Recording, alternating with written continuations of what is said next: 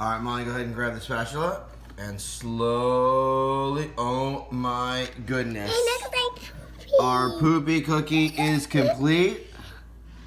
Finished. It is finished. Let's see. Let's turn this into the off position. Aw. It's like brownie.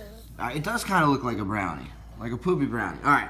Now, it was in the cooling section for about five minutes, so it should be kind of good to eat. All right, Molly, would you like the first bit? I'm going to react. Let's see your reaction. Because faces don't lie.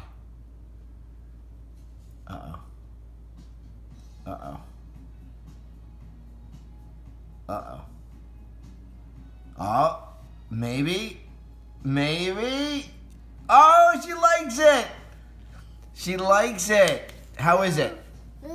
Give me, give me some words to describe our poopy brownie. What, what words would you use? Like really good and chocolate. It's really good and chocolatey. So you would call this a success? Yeah. Uh, high five, Chef Molly. Nice job. And what do you have to say to the people at home?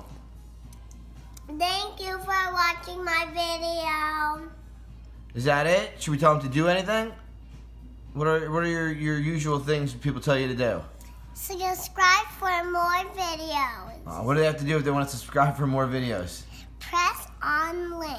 All right, sounds good. Say goodbye to all the people. Bye. Should we do like a catchphrase to say goodbye? Like what should be our, our, our slogan for uh, cooking time with Molly and Daddy?